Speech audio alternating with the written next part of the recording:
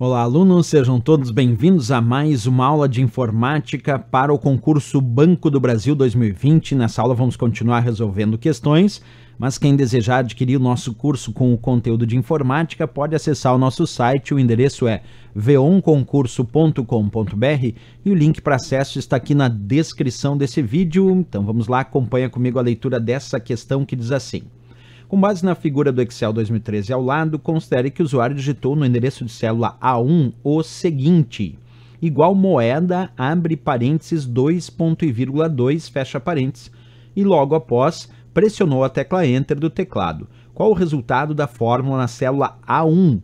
E aí vem a letra A ali, a letra B, C, D e E com várias formatações e diversos valores. Para entender o que faz a função moeda, deixa eu mostrar para vocês na prática. Estou aqui no meu Excel, digitei moeda. A função moeda tem dois argumentos. O primeiro argumento é o número que eu desejo formatar como moeda. Vamos botar o número 2 como pediu a questão. Aí eu boto um ponto e vírgula para separar os argumentos e o segundo argumento indica quantas casas decimais. Se eu botar 2, quer dizer que eu estou pedindo aqui para formatar o número 2 como moeda com duas casas decimais. O primeiro 2 é o número que eu quero formatar e o segundo 2 é a quantidade de casas decimais. Então vai ficar R cifrão 2,00.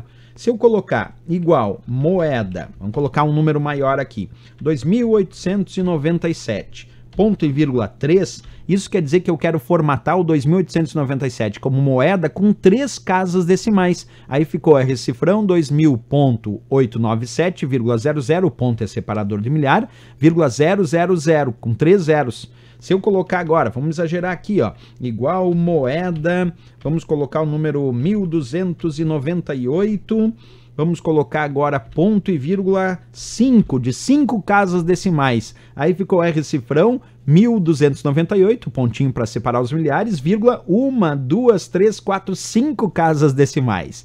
Mas a questão tinha pedido esse primeiro exemplo que eu fiz aqui, 2.2. Quer dizer, formatar o número 2 como moeda com duas casas decimais. Então, o resultado tem que ser R cifrão 2,00 que nós encontramos aqui na letra C de Canadá, como é a resposta e o gabarito dessa questão. Assim, aprendemos como formatar a célula usando a função moeda. Primeiro argumento, número, que eu desejo formatar como moeda, e o segundo argumento, a quantidade de casas decimais. Resposta C de Canadá, sem dúvida nenhuma para a questão.